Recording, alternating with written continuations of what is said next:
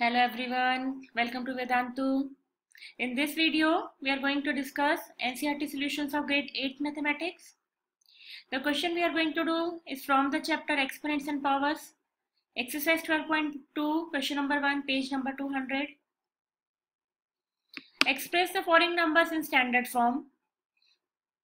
So what is standard form? Standard form is the way of writing the big numbers and small numbers easily so see this is a number. So if I will read it like this it is not easy to read like that.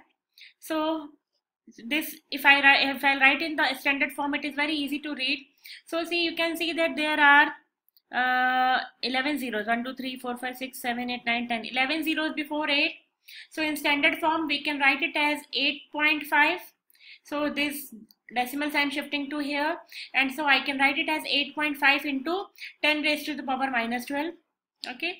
Now here also 1 2 3 4 5 6 7 8 9 10 11 second part question number 1 so there also 10 11 zeros are there and I want to write it as in the standard form 9.42 so we have to write with the base 10 it will be into 10 raised to power minus 12 okay because we are shifting.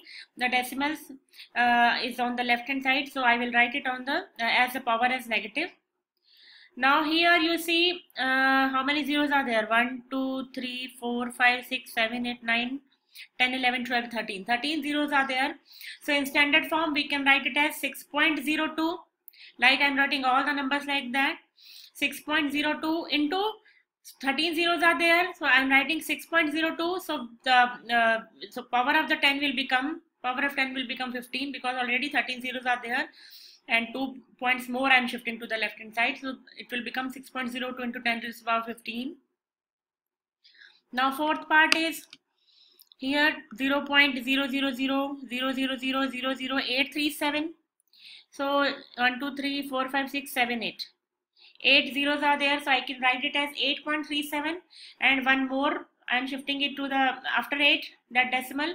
So into 10 raised to power minus 9 8 plus 1 9 so that's why power of the 10 is minus 9 negative 9 now here 1 2 3 4 5 6 7 so if I want to write uh, it, in the standard form it will become 3.186 into 10 to the power 10 I hope it is clear to all of you. Thank you very much. See you in the next video.